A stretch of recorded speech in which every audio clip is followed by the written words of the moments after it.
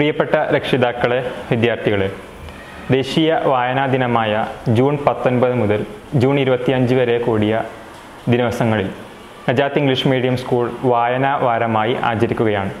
ഈ വായനാ വാരത്തിന്റെ ഭാഗമായിക്കൊണ്ട് അതിന്റെ സമാപനം എന്ന നിലയിൽ ജൂൺ ഇരുപത്തിയാറിന് സ്കൂളിൽ വായനാ ദിന മെഗാ ക്വിസ് കോമ്പറ്റീഷൻ സംഘടിപ്പിക്കാൻ ഉദ്ദേശിക്കുന്നുണ്ട്.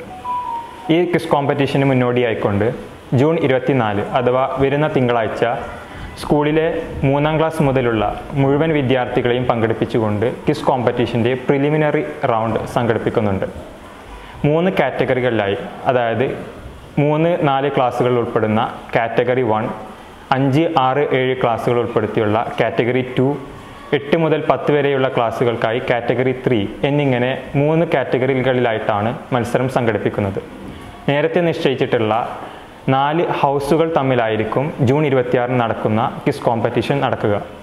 അതുകൊണ്ട് തന്നെ തിങ്കളാഴ്ച നടക്കുന്ന പ്രിലിമിനറി റൗണ്ടിൽ ഓരോ ഹൗസുകളും അവരുടെ ഹൗസിലെ വിദ്യാർത്ഥികളെ പങ്കെടുപ്പിച്ചുകൊണ്ട് പ്രിലിമിനറി റൗണ്ട് ക്വിസ് കോമ്പറ്റീഷൻ നടത്തുന്നതാണ്. ഇതിൽ മൂന്നാം ക്ലാസ് മുതൽ പത്താം ക്ലാസ് വരെയുള്ള മുഴുവൻ വിദ്യാർത്ഥികൾക്കും പങ്കെടുക്കാവുന്നതാണ്. വിദ്യാർത്ഥികൾ ഏത് ഹൗസിലാണ് എന്നറിയുവാൻ നമ്മുടെ എൻ ഇ എം എസ് ആപ്പിൽ തന്നെ ഇതിനുള്ള സംവിധാനം ഒരുക്കിയിട്ടുണ്ട്. നേരത്തെ തയ്യാറാക്കിയ സിലബസ് പ്രകാരമാണ് ക്വിസ് കോമ്പറ്റീഷൻ ഉണ്ടാവുക. ഓരോ കാറ്റഗറിയിൽ നിന്നും ഒരു ഹൗസിനെ പ്രതിനിധീകരിച്ച് രണ്ട് വിദ്യാർത്ഥികൾക്കാണ് ഫൈനൽ മത്സരമായ ജൂൺ ഇരുപത്തിയാറിലെ ക്വിസ് കോമ്പറ്റീഷനിൽ പങ്കെടുക്കാൻ സാധിക്കുക.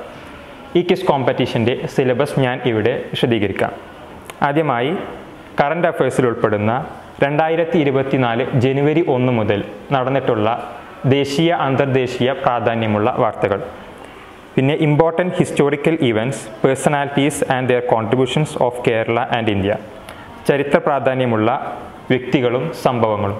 ഇതിൽ പ്രത്യേകിച്ച് സംസ്ഥാന ദേശീയ തലത്തിലുള്ള ഇന്ത്യയുടെയും കേരളത്തിന്റെയും ചരിത്രമാണ് പ്രധാനമായിട്ടും ഉൾപ്പെടുത്തിയിട്ടുണ്ടാവുക. മൂന്നാമതായി മലയാളം ഇംഗ്ലീഷ് സാഹിത്യം. മലയാളം ഇംഗ്ലീഷ് ലിറ്ററേച്ചറിലെ പ്രധാനപ്പെട്ട പുസ്തകങ്ങൾ എഴുത്തുകാർ കഥാപാത്രങ്ങൾ എന്നിവയെ സംബന്ധിച്ചുള്ള ചോദ്യങ്ങൾ ഉണ്ടാവുന്നതാണ്. നാലാമതായി popular sports athletes and tournaments കായികപരമായിട്ടുള്ള ചോദ്യങ്ങൾ. അഞ്ചാമതായി famous scientist and their inventions. ശാസ്ത്ര സംബന്ധമായിട്ടുള്ള ചോദ്യങ്ങൾ. പ്രമുഖ ശാസ്ത്രജ്ഞരും അവരുടെ കണ്ടുപിടുത്തങ്ങൾ. പിന്നെ അപരനാമങ്ങൾ അബ്രവിയേഷൻസ് അഥവാ ചുരുക്കരൂപങ്ങൾ എന്നിവയെ സംബന്ധിച്ചുള്ള ചോദ്യങ്ങളും വരുന്ന പ്രിലിമിനറി റൗണ്ട് ക്വിസ് കോമ്പറ്റീഷനിൽ ചോദിക്കുന്നതാണ്. ഈ ചോദ്യങ്ങൾ തന്നെ ഒരേ സിലബസിൽ തന്നെ ആയിരിക്കും മൂന്ന് കാറ്റഗറികളുടെയും മത്സരം നടക്കുക. എന്നിരുന്നാലും കാറ്റഗറികൾക്കനുസരിച്ച് ചോദ്യങ്ങളുടെ നിലവാരത്തിൽ മാറ്റമുണ്ടാവുന്നതാണ്. ഇതേ സിലബസ് അടിസ്ഥാനമാക്കിയിട്ടായിരിക്കും ഇരുപത്തിയാറ് നടക്കുന്ന ഫൈനൽ റൗണ്ട് ക്വിസ് കോമ്പറ്റീഷൻ നടത്തുക. എന്നാൽ ചോദ്യങ്ങളുടെ നിലവാരത്തിലും ചോദ്യങ്ങൾ ചോദിക്കുന്ന രൂപത്തിലും വ്യത്യാസമുണ്ടായിരിക്കുന്നതാണ്. വിദ്യാർത്ഥി രക്ഷിതാക്കൾ ഈ സിലബസ് അടിസ്ഥാനമാക്കി വിദ്യാർത്ഥികളെ ക്വിസ് കോമ്പറ്റീഷന് വേണ്ടി ഒരുക്കണമെന്ന് അഭ്യർത്ഥിക്കുന്നു. എല്ലാ വിദ്യാർത്ഥികളും ഈ ക്വിസ് കോമ്പറ്റീഷന്റെ ഭാഗമായിക്കൊണ്ട് ഇതൊരു വൻ വിജയമാക്കി മാറ്റുമെന്ന് പ്രതീക്ഷിക്കുന്നു.